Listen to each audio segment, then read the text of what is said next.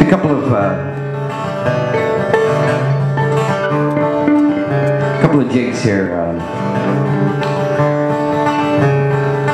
great group called Nomos, and uh, nice and soft and gentle jigs, and a couple of our favorites. They go like this. Here we go.